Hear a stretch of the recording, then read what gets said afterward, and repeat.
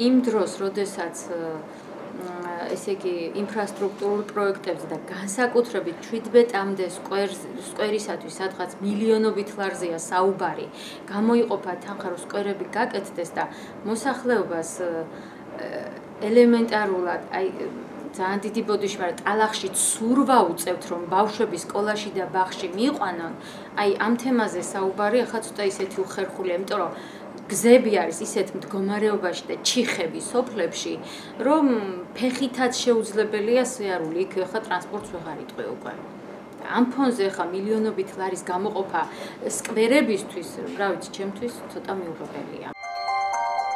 Thank you.